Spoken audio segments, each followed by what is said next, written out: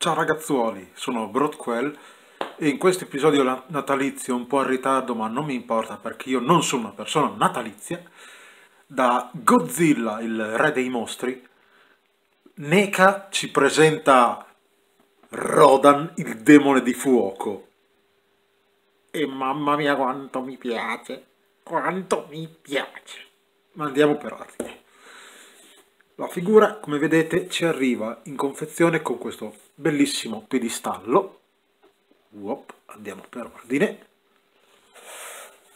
Composto da una base che eh, rappresenta la, la, base Monarch che eh, funge da eh, tappo al cratere del vulcano su Isla de Mara in cui Rodan sta dormendo, l'esplosione del momento in cui Rodan emerge e un piedistallo in plastica trasparente, il tutto da essere assemblato. Esplosione, base e piedistallo sono in tre pezzi distinti. ok? Piccola lamentela su questa base, è vuota. Una cosa che non sopporto è che eh, mi dà una enorme impressione di fragilità questa base, non lo so, più che fragilità di povero, perché nel, nel momento dell'assemblaggio questa base, che, questa, questa parte, scusatemi, l'esplosione, che è piena, è un bel tocco di plastica, quando lo andiamo a incastrare nella, nella base sembra che la stia deformando e questo non mi piace molto. Lo stecco non posso dire niente, non riesco a tenerlo dritto, ma Va bene, dai, è un buon piedistallo. Proviamo a metterlo così. Vedete, pende sempre da un lato che non mi piace per nulla, ma va bene. Veniamo a Rodan ed è fantastico, assolutamente fantastico. Nelle ali c'è movimento su e giù, un minimo di eh, rotazione e le ali si possono piegare o aprire di questo tanto, insomma non è molto però. Le zampe si possono muovere, hanno un giunto a sfera anche se un po' limitato dalla, dalla conformazione dell'anca, il collo si può muovere e così anche la testa. Inoltre adesso non ve la faccio vedere visto che mi scoccia tirarla fuori dalla confezione in tutta onestà. Ma eh, Rodan arriva impacchettato con, la, l'altra testa, quella con il becco chiuso, questa è la testa alternativa ma visto che è infinitamente più epica questa testa io ho deciso di esporli in questo modo ci sono lamentele una sì, purtroppo sì eh, gli scocciava molto fare un po' più rigide le articolazioni delle ali. Purtroppo a, a esporlo spesso e volentieri succede, ecco, vedete già, che una delle ali si afflosci. Esatto. Cosa buona, come vedete non ci sono incastri per il piedistallo. Questo perché è fatto in modo tale da potersi tranquillamente appoggiare e sostenere il nostro kaiju senza problema alcuno.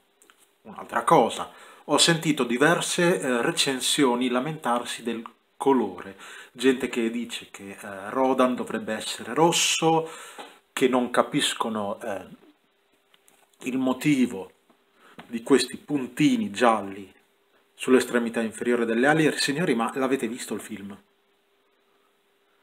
Cioè, Rodan è un vulcano vivente, non è rosso, è del colore della roccia lavica anche nel film, non potete dirmi che è rosso.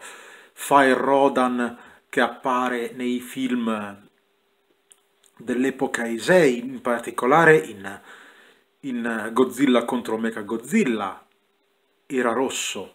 Godzilla, eh, scusatemi, Rodan di Godzilla Re dei Mostri è color roccia lavica, perché la sua pelle è roccia lavica. Cioè, non è che c'è molto da dire.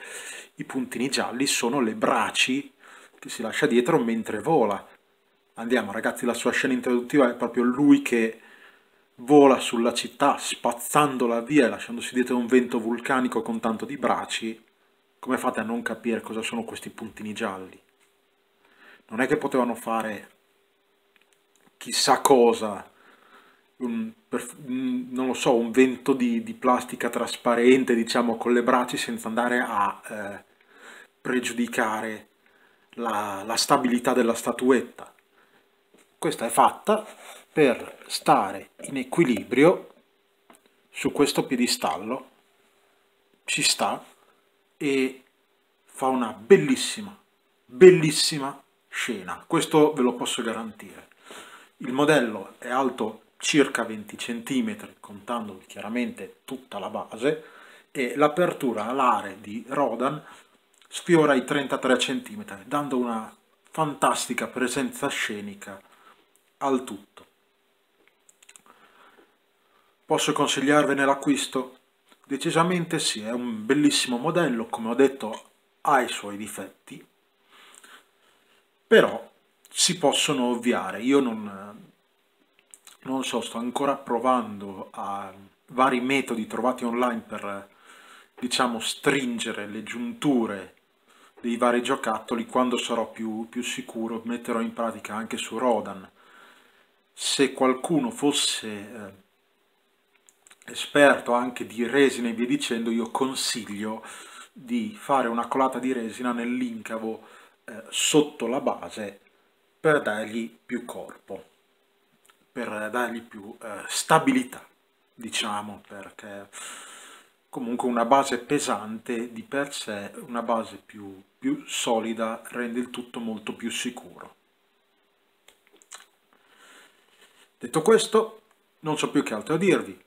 Se vi aspettate degli auguri, ciccia baciccia, purtroppo come vi ho detto non sono un tipo natalizio, non posso far altro che consigliarvi non solo l'acquisto di Rodan, ma se ancora non l'aveste fatto, di guardarvi Godzilla il re dei mostri perché è veramente fenomenale. Detto questo, ragazzuoli, vi saluto.